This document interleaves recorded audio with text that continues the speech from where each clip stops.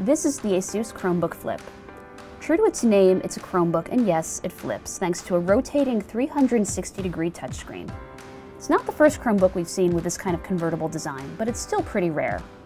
Also, at 10 inches, it's one of the smaller Chrome OS laptops on the market. In fact, this one weighs less than 2 pounds. Also remarkable is the price. Even with a touch display, it comes in at just $249.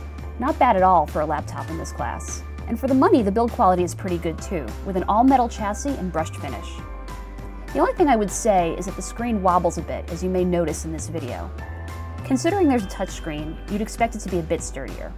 That said, I'm not sure how much you'll really use the touch panel. After all, Chrome OS was really designed to be used with a mouse and keyboard, not your fingers. You might be wondering how on earth Asus was able to get the price so low.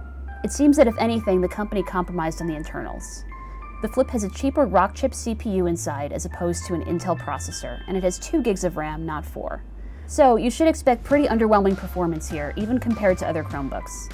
Then again, it promises up to 10 hours of battery life, which for some shoppers could potentially make up for the relative sluggishness. If all this sounds like a good deal, you can pre-order it now for $249. That's been my quick look at the Chromebook Flip. Thanks for watching.